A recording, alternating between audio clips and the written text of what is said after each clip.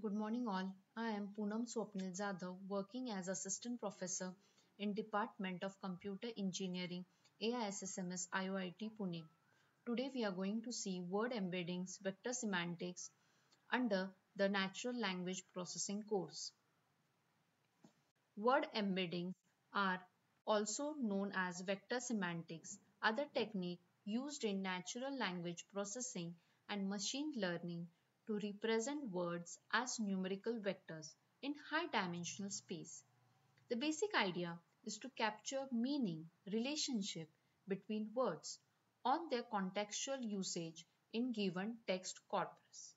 In simple terms, word embeddings are like a language representation where words are transformed into the numerical values.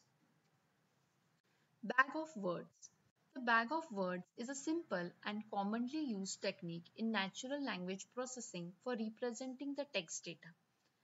In this approach, a document or a sentence is represented as a bag containing the individual words it contains without considering the order or structure of the words. Imagine you have a sentence, the cat chased the mouse. To create a bag of words representation, you would first identify all the unique words in sentence like the cat chased mouse. Next, you create a vector, a list of numbers where each position in the vector corresponds to one of the unique word. In this case, the vector would be of length 4. The position in the vector represent a specific word and the value at that position indicates the frequency of that word in the sentence. So for example, the vector representation would be 2, 1, 1, 1 because the appears twice while cat, chased and mouse appear only once.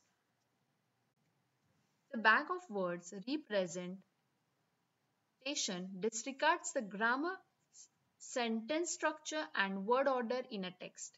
It only considers the presence or absence of words and their frequencies. This simplification makes it easier to process and analyze the test data using the machine learning algorithms. Now, TF-IDF. TF-IDF is term frequency inverse document frequency. It is a way to figure out which words are most important in a document it does this by looking at how often a word appears in the document, term frequency, and how rare the word is across all the documents, inverse document frequency. Term frequency is a measure of how often a word shows up in a document compared to the total number of words in that document. If a word appears frequently in a document, it has a higher TF value and is considered more important for that document. Inverse document frequency IDF is a measure of how rare or unique a word is in collection of documents. If a word appears in only a few documents, it has a higher IDF value and is considered more valuable for distinguishing between documents. The formula for the term frequency is count of the terms in document upon number of words in the document. Formula for inverse document frequency is log n by document frequency plus 1. The formula for the TF-IDF is TF into IDF.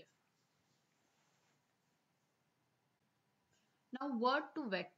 Word2Vec is a popular technique in NLP used to represent words as numerical vectors capturing their meaning and relationship.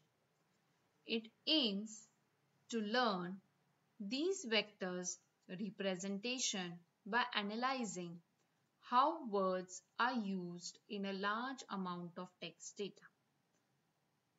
Word2Vec is like language mapping where words are transformed into numbers. Each word is assigned a vector which is a series of numbers and these vectors capture different aspects of the word's meaning and usage. For example, it might learn that the word dog and cat often appear in similar sentences and therefore their vector representation will be close to each other in the space. Similarly, it might find that the king and the queen are used in similar context, resulting in their vector being close together as well. Word2Vec allows for mathematical operations on word vectors. For example, by adding or subtracting word vectors, we can explore the relationship like king is man plus woman is queen. These operations enable the model to make educated guesses and reason about the concept based on the learned vector representations.